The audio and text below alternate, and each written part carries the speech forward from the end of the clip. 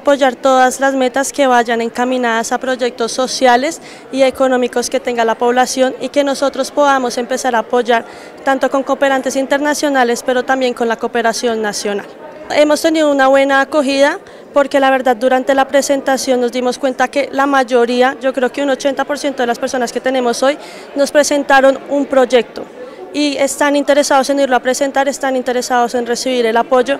Entonces, si es cada comerciante desde su punto, desde su creación, están interesados en andar en estos recursos internacionales. ¿De qué manera el comerciante del común, el emprendedor, puede acceder a estos apoyos internacionales para que sea reconocida su marca? Sí, bueno, mira, nosotros una de las metas que tenemos en nuestro plan de trabajo de la oficina es la internacionalización de los pequeños y medianos empresarios. ¿Cómo lo hacen? Ellos nos presentan un proyecto, nosotros lo presentamos ante la convocatoria que haya tanto de un cooperante internacional como de un cooperante nacional. Eso, ah, eso depende mucho de la temática que esté abierta en el momento. Si el proyecto aplica, nosotros lo presentamos ya sea a una embajada, a una empresa, a una entidad para obtener tal recurso que puede ser financiero o no, puede ser técnico también y así lo vamos logrando poco a poco. ¿Cualquier país del mundo está dispuesto a apoyar lo colombiano?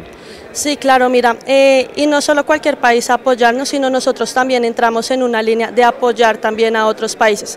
No solo recibir, sino también ofrecer, también convertirnos en aliados internacionales de otros municipios y de otros países y de otras personas.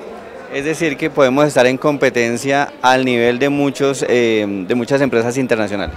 Sí, ya empezamos a competir, ya no somos los cooperantes que recibimos, sino ya somos aliados estratégicos que podemos empezar a competir y a ofrecerlo de nosotros. Con la Oficina de Desarrollo Económico lo que estamos haciendo es una división del municipio entre los bienes y servicios que nosotros podemos ofrecer para salir al mundo, para salir a PC, para salir a Cancillería, a ver cómo podemos empezar a enrolarnos en este tema. Bueno, invitemos entonces nuevamente a los comerciantes y a emprendedores del municipio y de, por supuesto a los municipios de toda la región de Cundinamarca a que se vinculen a esta clase de procesos.